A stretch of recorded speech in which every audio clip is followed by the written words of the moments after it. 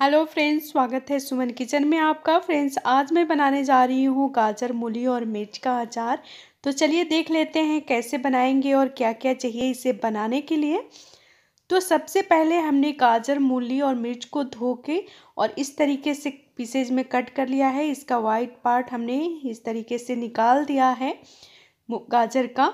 और ये दो गाजर है और एक मूली हमने लिया है। आप अपने हिसाब से जितना आपको अचार बनाना है उस तरीके से ले। और इसमें बिल्कुल पानी नहीं होना चाहिए और ये मिर्च हमने, पतली वाली मिर्च हमने लिया है तो हम इसे कट नहीं करेंगे। और आप मोटे मिर्च ले रहे हैं तो इस तरीके से बीचों बीच से आप कट लगा सकते हैं। तो आप देख सकते हैं इसे हमने धोकर कट कर लिया है, एक नींबू लिया है, इसका जूस हम अचार में डालेंगे। तो चलिए बनाना स्टार्ट करते हैं। सबसे पहले हम गैस ऑन करके कढ़ाई रख देंगे, गर्म होने देंगे और इसमें डालेंगे राई, डेढ़ चम्मच और इसे एक मिनट तक हम रोस्ट करेंगे इस तरीके से। तो आप देख सकते हैं राई रोस्ट हो गया है तो इसमें सौफ हम डालेंगे, डेढ़ टेबल स्पून और इसके अंदर मेथी दान, जीरा डालेंगे एक टेबल स्पून उसके बाद से इसमें मेथी दाना डालेंगे हाफ़ टेबल स्पून और इन सब चीज़ों को हम रोस्ट कर लेंगे। इस तरीके से चलाते हुए हमें रोस्ट करना है।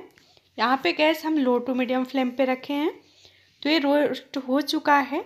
अच्छा से भून लिया है हमने।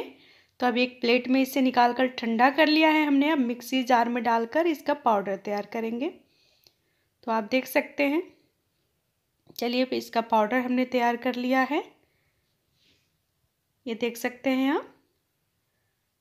तो अब हम कढ़ाई के अंदर एक कप तेल डालेंगे। सरसों का तेल है। इसमें अचार बहुत अच्छा बनता है और तेल को हम बहुत अच्छे से गर्म करेंगे। तेल गर्म हो चुका है तो इसमें हम दो पिंच हींग डाल रहे हैं। उसके बाद से हमने राई लिया है, जीरा लिया है और यहाँ पे हमने मेथी, मंगरेल और सौंफ लिया है। और इस तेल में इसे सब चीज़ों को हम डालकर अच्छा से भूनेंगे। तो आप देख सकते हैं, इसे बिल्कुल गर्म तेल में हमने डाला है तो ये भून चुका है।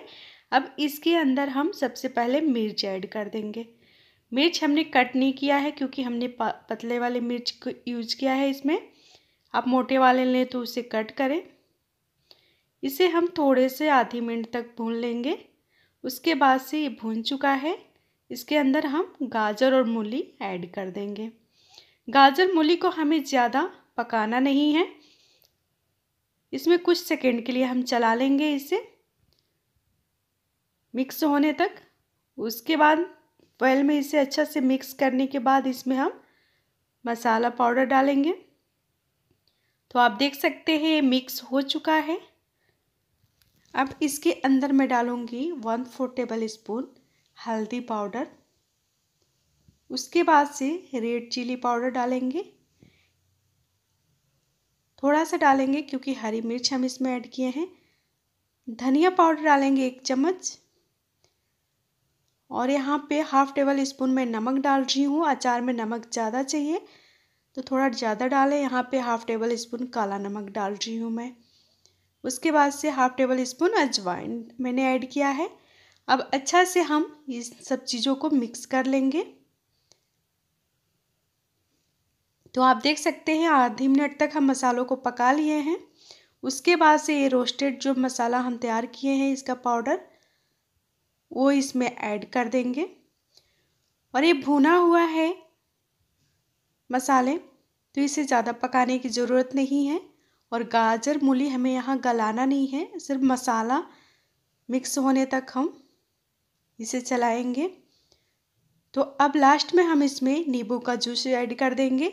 आप यहाँ पे नींबू के जूस की जगह पे आमचूर पाउडर ऐड कर सकते हैं। तो आप देख सकते हैं कितना जल्दी ये बन के तैयार हो गया अचार। और ये अचार धूप वूप दिखाने की ज़रूरत नहीं है इसे। इसे ठंडा करके एक जार में आप रखें और फ्रीज में आराम से इसे दस से पंद्रह दिन तक आप खा सकते हैं। एक जार में भरकर आप फ्रीज में रख दें ठंडा होने के बाद। तो चलिए गैस ऑफ़ कर देते हैं, बन के रेडी हो गया है। तो सर्व कर लेती हूँ। इसे ठंडा होने के बाद मैं जार में रख के और फ्रिज में रख दूँगी। तो ये रेसिपी कैसी लगी?